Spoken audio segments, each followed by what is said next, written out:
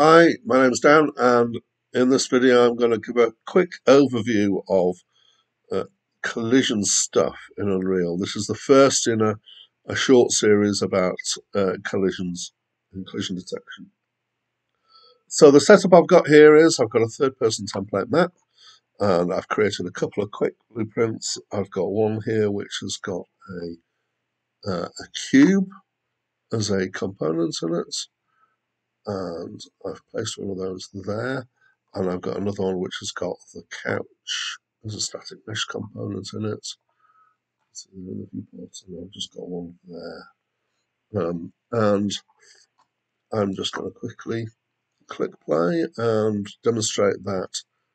I walk through the couch but I can't walk through that block um, I'll go into the reasons for that couch not being able to be walked into, sorry, the couch not blocking um, in the next video when I talk about uh, collision meshes. Uh, but in this one, I want to show you the a very quick overview of what's going on inside Unreal uh, to do with collisions.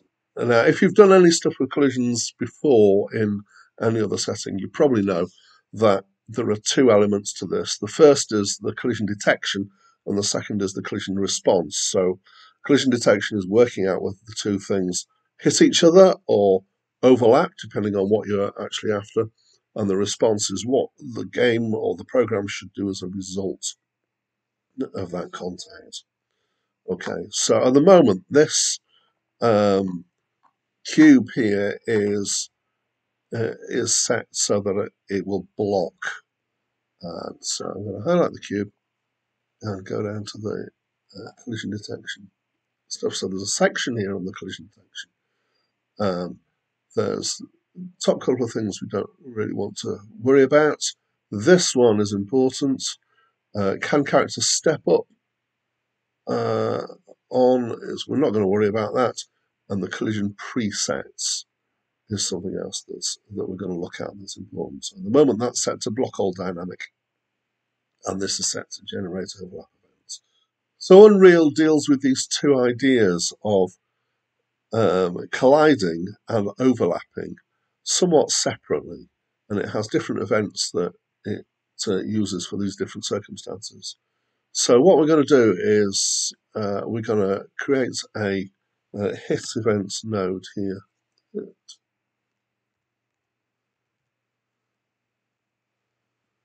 Event hit. There we go. This event will be triggered when there is a hit, so when two blocking objects uh, touch each other. Um, and just to demonstrate what's going on here, I'm going to put the string. Um, and I'm just going to, so there are several nodes coming out here. There's quite a lot of information you can get from a hit.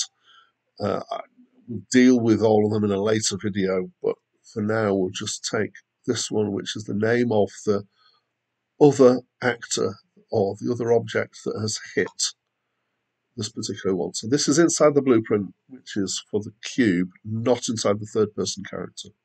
But it's the third person character I'm going to move to make that collide. Um, and that script should just give us the name of the other object. So here we go as we walk into it, and then it's third person character. Uh, and as you can see, if I keep touching, it, it keeps doing it. I've just let go. I've got to be pushing forwards. That's generating many, many hit events there um, as that happens. Okay. Um, so that's the event that happens when you have a hit. The stuff that I want to uh, look at is how do we get a overlap? So the well, the first thing that we've got to do is we've got to stop the blocking. So that is where it actually won't let it overlap. And so instead, we're going to, instead of block all dynamic there, we're going to change it to no collision. And we make that change and go and play. And then we can walk through it.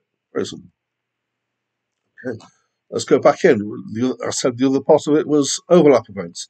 So we've got here generates overlap events. And you might have seen this one before, which is on actor overlap.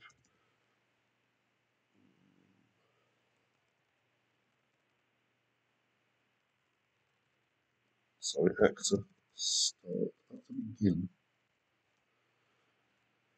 Once again, demonstrating you have to sometimes try several things before you find the right node. Um, and again, we'll just do a print string.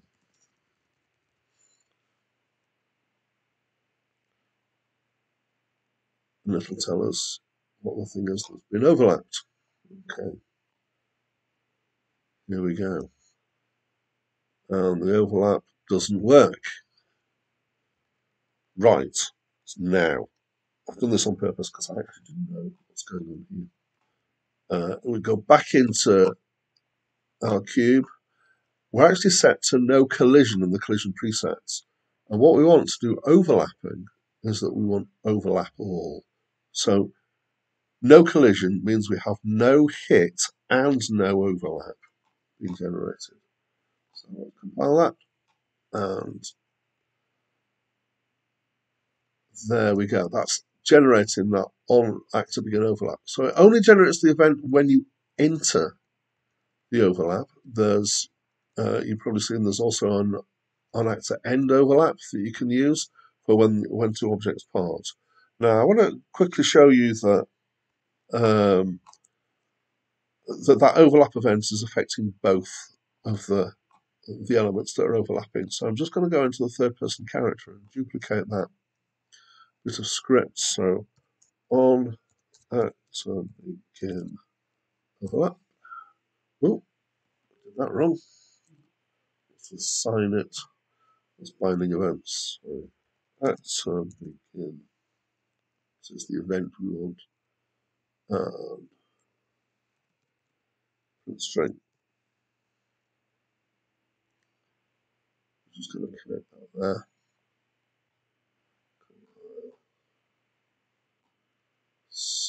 apply. Then we get the overlap, both those bits of script are running, you get third person character and my BP, it's telling you what things are overlapping. Okay. Now, you might remember before we had a look at in our, our blueprints, cube, this box here, generate overlap events. What happens if we uncheck that box? Let's find out. Let's uncheck it and try and do the overlap. the overlap, and it's not happening. And in fact, it's not happening inside the um, the third person character either. So, in order for a, an overlap event to be generated, both elements that overlap need to have that overlap, that generate overlap event selected. Okay. So we're going to uh, reset that back. However, um, I'm going to go back to the dynamic, uh, local dynamic, and see what happens. So we've still got, you'll notice when we're doing the overlap and we change it to overlap all, it wasn't doing the blocking, and when it wasn't doing the blocking, it didn't generate the hit events. And when we put it back to blocking, it generates the hit events, but it doesn't generate the overlap events. So you've got either hit events or overlap events. Okay, one last thing to show you in this blueprint, which is that um, in terms of collision response, so uh, at the moment, all we're doing is printing strings. Uh, we can make anything that we want happen, obviously, as a result of detecting either an overlap or a hit, uh, if we've got the blocking on. Um, but up here, you'll see that there's uh, physics section as well. And if we click on simulate physics, it then actually automatically changes the collision preset, uh, presets to physics actor down here, which is fine. We're going to compile. Um, there's a, going to be a whole series of other stuff about physics, hopefully in the series of uh, tutors. Let's see what happens now. We'll still get the uh, block event, sorry, the hit event, but the object now is pushable. Um, and if I put it up in the air, it could fall. I can make things, make it bounce. I can make all sorts of things happen. So that's a very quick overview of collision in Unreal. Uh, just to recap, we've got two kinds of event that we can trigger, and we need to set up the settings of our objects uh, in so that we get what we want out of it. We've got overlap events.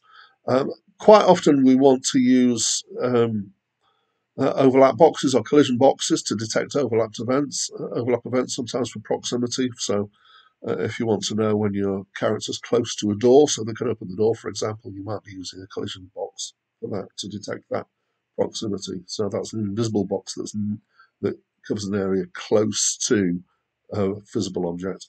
In this case, we've just been using the visible objects. And then the second type of event that can be created is a hit event, which only happens when we've got blocking happening. So that's it from me for now.